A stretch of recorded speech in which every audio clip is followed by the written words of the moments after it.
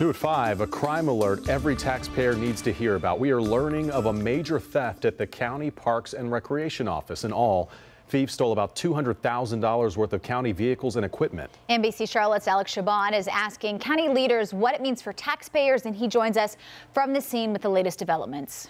Well, I talked to a county commissioner who tells me this is the largest county theft that he's heard of. Just one of the vehicles stolen from here worth $70,000. In a fenced area, heavy duty vehicles vanishing. I think it's outrageous. A tough pill for taxpayers to swallow after coughing up tens of thousands of dollars for all of it.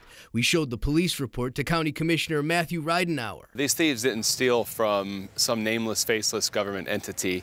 Uh, that equipment and those vehicles belong to the people of Mecklenburg County, and that's who really suffers. It happened between 4 and 5 yesterday morning. According to this police report, thieves stole 24 items. That includes three vehicles totaling roughly $180,000.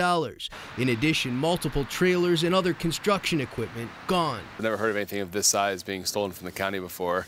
Um, usually it's something smaller, maybe a, a break-in into a facility, but this is certainly the largest theft, uh, single theft that I've heard of. A county spokesman declined to answer our specific questions, including if it will impact the county's budget and if insurance will pay for any of it. It's something that we all chipped in to buy, really, and now someone stole from all of us. Police say at this point in the investigation, no charges have been filed. In Charlotte, Alex Shabbat, NBC Charlotte. All right, Alex, thank you.